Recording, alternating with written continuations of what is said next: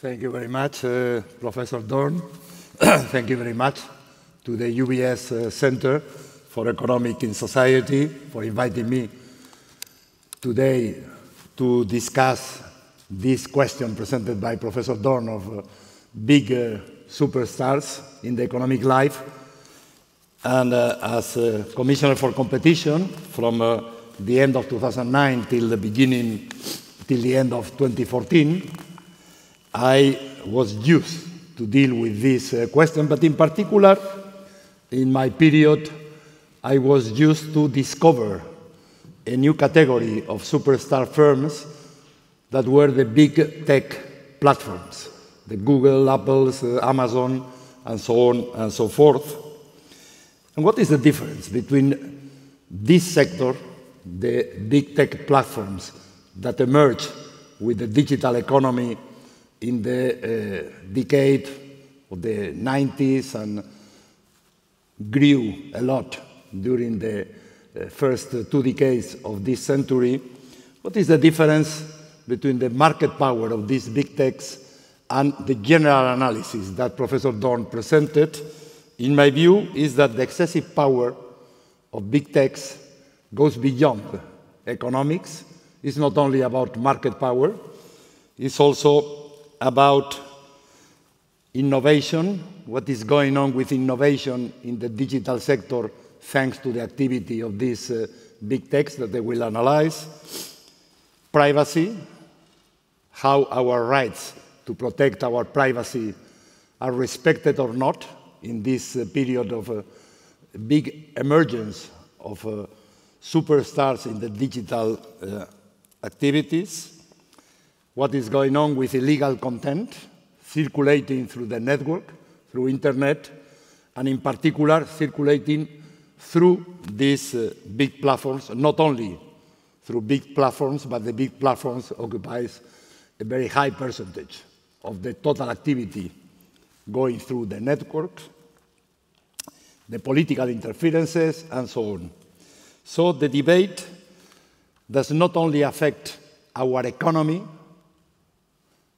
that of course, but in particular affects the digital economy and the consequences of this goes beyond economics. So I will elaborate in uh, how competition policy, how competition law and competition economic analysis are contributing to this uh, debate, to this reflection, and I will use a sentence pronounced by my successor as Commissioner for Competition, the then uh, Vice President of the European Commission, Margrethe Vestager, who said, rules are needed to put order in this chaos. These are Vestager words, not my own words, but I fully agree with this. We need rules, and probably, and I will discuss it, competition policy rules that are with us in Europe but also in the US and in many other jurisdictions for decades, how those rules that have not basically changed, for instance, in the EU, the present legal rules at the treaty level are more or less the same that in the Treaty of Rome in the mid 50s of past century, to what extent those rules can cope with the present challenges in the digital economy and what is needed to make competition policy enforcement really efficient in these new situations. As you know, probably, the uh, competition policy enforcement has three main areas of activity the fight against cartels and illegal agreements among companies, the uh, fight against abuses of dominant positions of companies in the market, not pursuing dominance, but pursuing the abuses based on this uh, market power of uh, dominance in the market, and control of mergers, of mergers and acquisitions, of uh, acquisitions of companies or merger between two companies operating in the same or in similar markets to increase the size and to increase efficiencies. In Europe, in the EU, we also have state aid control, but it's not uh, object of my analysis this morning. The digital economy accelerates, accelerates existing trends towards a higher degree of market concentration. As we've seen in the uh, PowerPoint presented by Professor Dorn, this is not new, but in fact, the degree of concentration is increasing in many markets, and the digital economy or the digital use of software, of technologies in other sectors can contribute, and in my view is contributing to the acceleration of this, uh, of this process. This means that uh, competition policy with the traditional instruments has a risk of under-enforcement, both in the fight against abuses in the market, as well as in the control of mergers and acquisitions. And at the same time, it's not only this under-enforcement because of the new developments in the market, but because the investigations of potential abuses, of the analysis about the consequences of a potential merger, has become more complex and more cumbersome, being the nature of the digital economy.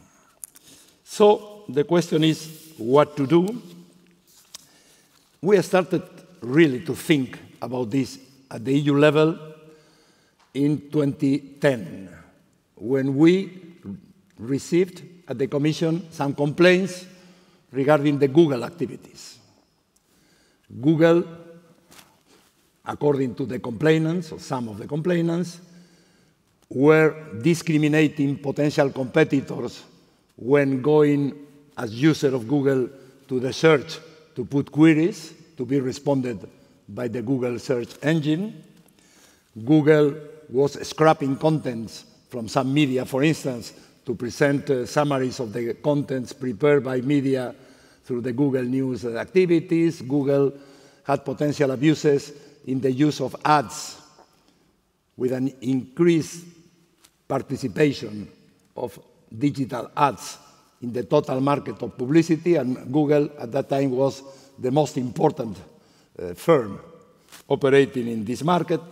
So there were several complaints in 2009, 2010, of a different nature, looking at different potential abuses. So we started a formal investigation in November 2010, 12 years ago. It was a very complex case, so I decided to try to get an agreement with Google.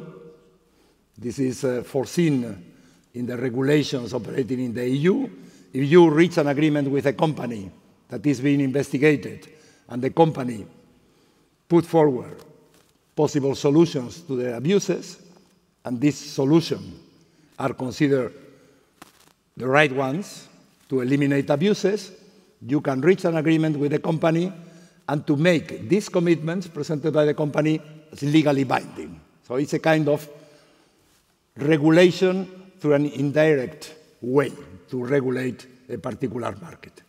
But these uh, conversations with Google were not successful. Several rounds, three rounds of uh, negotiations with them to try to uh, receive better implementing solutions for the abuses were under investigation, was not possible, and finally, my successor arrived knowing that the negotiations with Google had not been successful, and she decided to launch a formal investigation to prohibit these activities. Finally, a decision was adopted in 27, I think, with uh, a prohibition of part of the abuses that were subject to investigations, the shopping, uh, uh, Google shopping uh, system offered by Google, that was enjoying in the search engine a much better treatment than the shopping services offered by competitors of Google. The Commission prohibited this uh, abuse and imposed a fine of 2.4 billion euros, the equivalent of 2.4 Swiss francs, more or less. Google, of course, appealed before the court, and in 2021, so three and a half years later, the Court of Justice in Luxembourg, in the first instance, supported the Commission decision to prohibit these practices and consolidated the fine of 2.4 billion euros, more or less. Since then, the Commission at the EU level has opened investigations and adopted some other decisions against Google, for instance, against some practices of Android, that has become the dominant uh, ecosystem for smartphones and tablets owned by Google, and uh, another kind of investigations against Amazon, uh, Apple, and other digital firms. But there is not the only problem we consider. The uh, economists of competition had created a new concept. Analyzing mergers, they talked about killer acquisitions. So these big tech platforms, on the one hand, they are very efficient and they have organic growth because of its efficiency and its uh, competitiveness vis-à-vis others, indeed. I will not deny this. But at the same time, Google, Apple, Microsoft, uh, Amazon, and others, but in particular these big ones, Facebook, they acquired around 500 firms because they consider that was good for their businesses, but was good in many cases because they were acquiring competitors or even potential competitors. And because the size of the companies acquired by these big techs, the merger control rules were not working well, and most of these uh, mergers were considered not uh, uh, infractions to the competition rules because the authorities cannot demonstrate the reduction of competition because these acquisitions. So these killer acquisitions have become also a very important factor to increase the size of the platforms, but at the same time to eliminate competitors because of these uh, acquisitions. So this is not only a case-by-case -case, uh, reflection. Of course, the Commission and other competition authorities used these experiences of receiving complaints, opening investigations, looking into the nature of the markets, the barriers uh, to enter into the markets, the abuses, etc., to improve their knowledge on how the digital economy is working. But the Commission decided at the EU level to uh, require a report from experts. And this was not only the EU Commission, also the British authority, the Australian authority, some uh, people in the US, in the last uh, years of past decade, launched investigations to better understand the nature of this uh, market in the digital economy. There was a need to understand how digitization is transforming the way markets operate and companies operate. And the questions were in particular, two big questions submitted to the experts. Do the present EU competition rules at the EU level are still valid, yes or not? And in any case, regardless the rules, is enough to adapt enforcement practices, the traditional practices of competition authorities, to cope with digital markets and digital platforms, yes or not? The Commission report, published in 2009, said, sorry, 2019, said digitization is the origin of new markets, new players, and new business models. And some of these digital services offered by these big platforms are provided at zero price. When we click into Google search, we are not paying a price for this. When we look at the Google Maps, we are not paying a price. When we uh, register on Twitter, we are not paying a price, so on and so forth. But we are offering these big platforms our data. And the data we offer to the platforms is the main asset they have once processed, once integrated in a big databases, and databases that are growing more and more every day, given that users, thousands of users, millions of users every day are clicking, are uh, operating through platforms, offering the platforms our data, where we live, where we eat, what are our cultural uh, preferences, etc., etc. They can know almost everything about us, and this is a big asset to offer new services to those who they know sometimes better than ourselves about our preferences, our priorities, the direction of our expenditures, etc. Of course, this is not only a very important economic asset, this presents also some risks. This enormous amount of data can affect privacy, can be sold to buyers that can try to use this data for not legal purposes, and this can give way even to political interferences, as we've seen uh, famously in one of the last uh, EU, uh, US electoral campaigns. Sometimes the uh, competition enforcement needs to address the power of big online platforms that are acting at the same time as referees, as owners of a platform, and players because based on the, its ownership of this platform built on our, base, on our database, they can create new services that they can uh, monetize.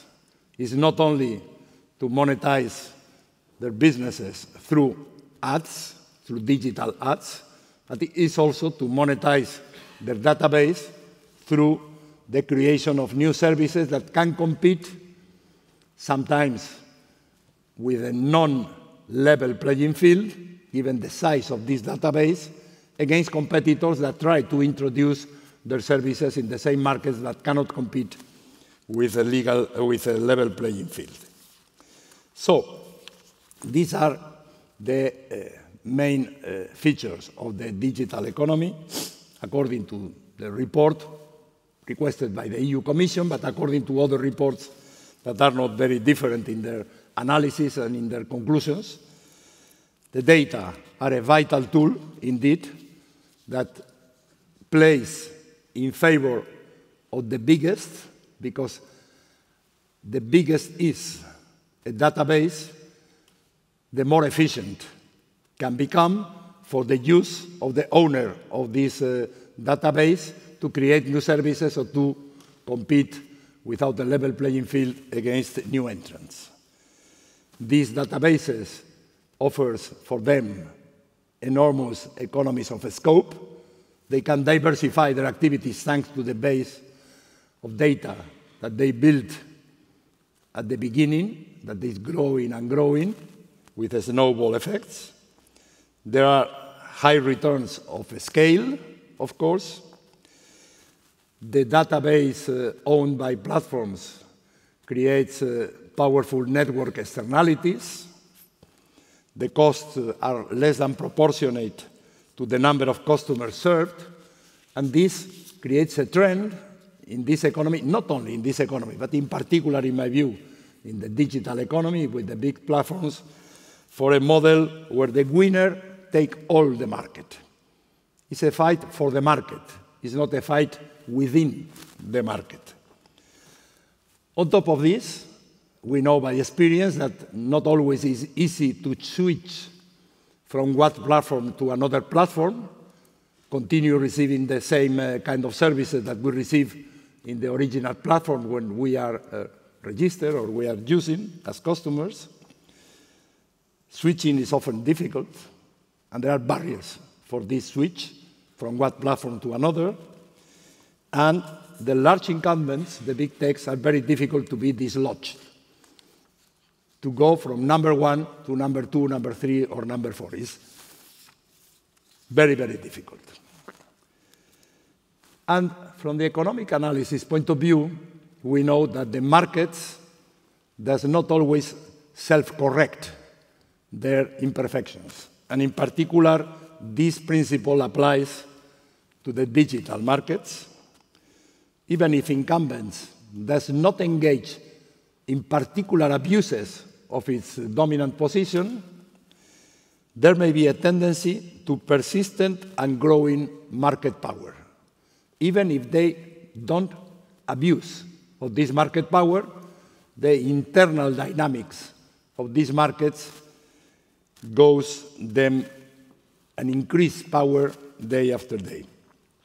Some uh, people says the big tech, the big platforms are natural monopolies, as they were in the past, the production of uh, electricity or the production of, uh, of uh, gas or whatever energy source, or uh, as it was the case with railways uh, and other state monopolies of the past century or others use a concept that was analyzed during the period of the liberalization of network industries in the 80s past century of essential facilities that as an essential facility a big platform some people says has a duty to deal with the competitors not to put barriers to their competitors in using the platform for their own businesses and for their own purposes in other cases there are uh, proposals for these big platforms to self-regulate their activities. Some public authorities says it's too complex for us, let's ask them to self-regulate. And some of the owners, of the leaders of these platforms says, no, no, it's very complex for us. This will create for us a lot of problems. Let's ask the public authorities to regulate our activities being careful not to kill innovation. But what to do if, apart this uh, general analysis, there are some behavioral biases? As a, a professor of uh, uh, Universidad Pompeu Fabra in Barcelona, Massimo Motta, described, there are some behavioral biases. For instance, for the users tend to use the pre-installed apps in their smartphones or tablets, not to look for alternatives for the apps that are pre-installed when you buy the, the device. There is a, a, question of prominence, that users don't go beyond the first search results. In the uh, Google first page of the search engine, you can find almost everything you need to respond to your query and don't go to the page two, three, or four because nobody does. Almost nobody goes beyond the first uh, search. We are a little bit lazy as users and we don't cancel automatic renewables or subscriptions, or we agree to give away our privacy rights because we have no time to read all the conditions that are published in the uh, screen of our smartphones or our devices, and we say, okay, let's accept the uh, message that the owners of the platform are sending to us. So all these biases create trends in favor of incumbents.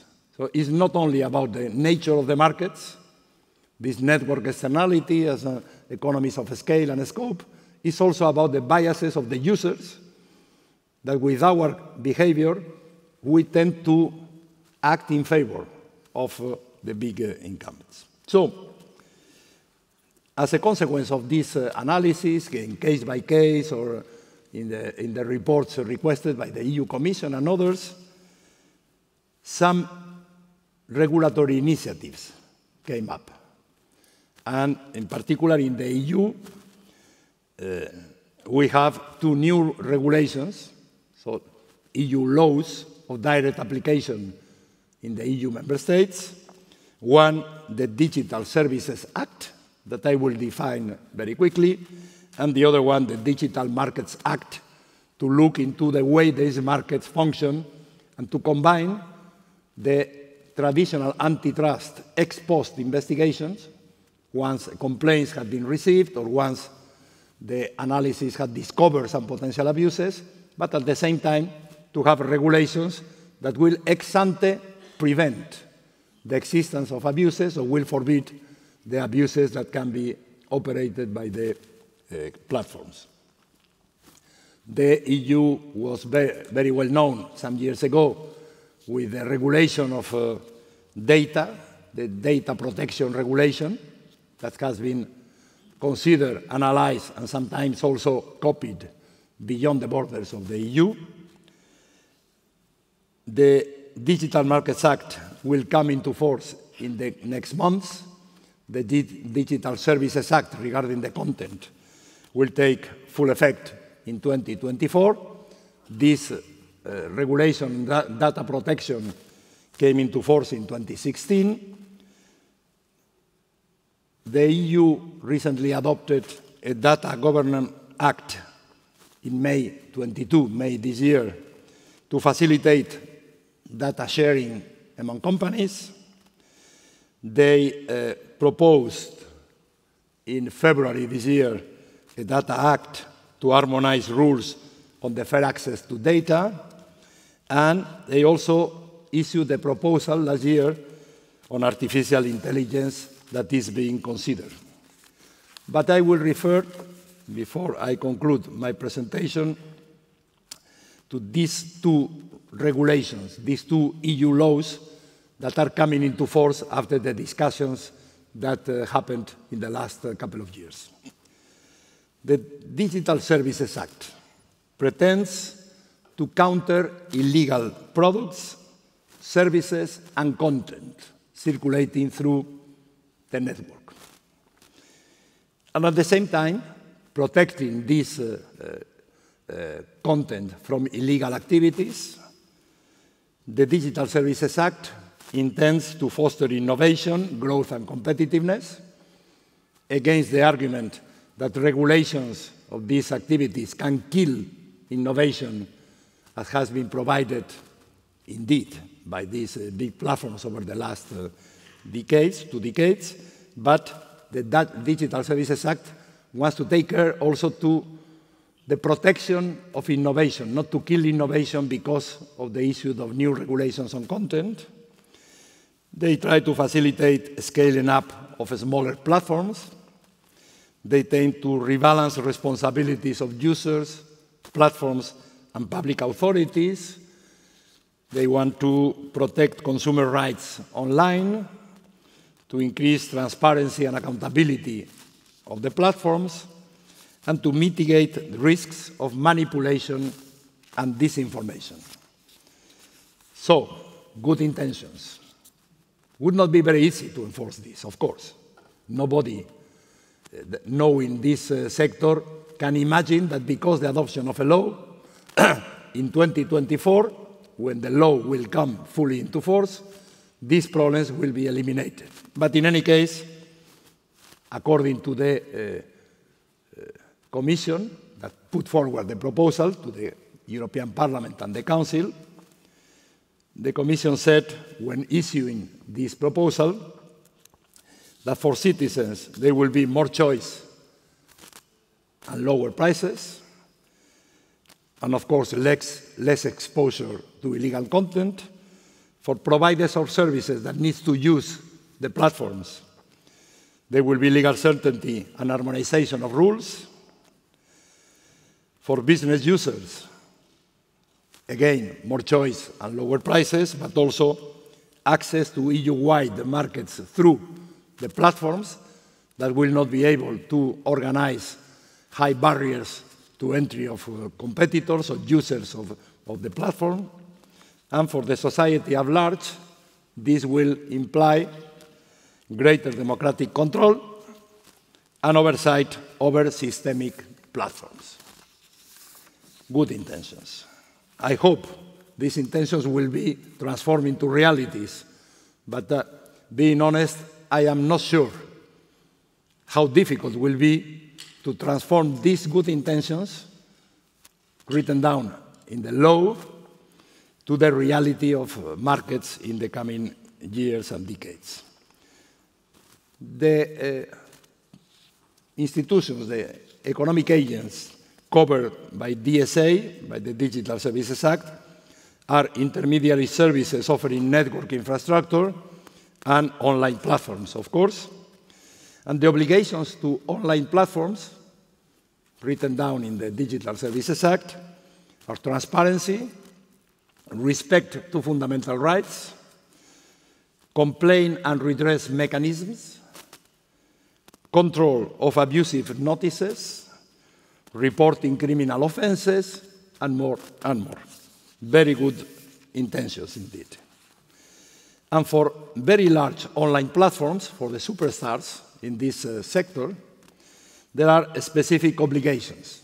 And the Digital Services Act consider that these uh, main online platforms, or very large online platforms, are those who are reaching more than 10% of the EU population among the users. So it means 45 million people as users of a platform transforms the platform in a big one that is submitted to specific obligations.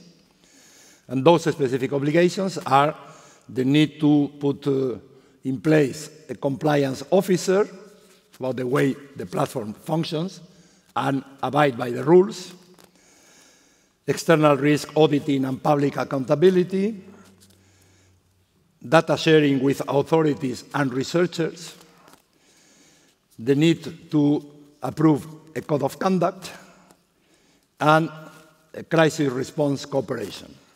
And for those who are not, will be not complying with these rules, there is in the Digital Services Act a regulation of sanctions in proportion to the uh, size of the sales or the turnover of these platforms uh, up to a maximum of 6% of annual turnover or 5% of average daily turnover. The other law, closely linked with competition rules as we knew it up until now. The Digital Markets Act has the purpose to ensure a level playing field for all the digital companies, regardless of their size. And in particular, the Digital Markets Act, the DMA, established criteria to qualify as gatekeepers. Who will be the gatekeepers? Are those providers of core platform services with a significant impact in the single market, and core platform services are considered, and I give you some examples, online intermediation services, online search services, social networking services, video sharing platform services, interpersonal communication services, operating systems, cloud computing advices uh, or services, online advertising services, web browsers.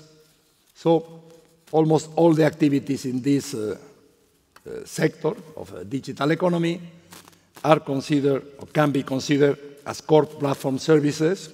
And this is one of the conditions if the platform develops some of those uh, core platform services with significant impact in the single market, in the EU single market, they can be considered gatekeepers.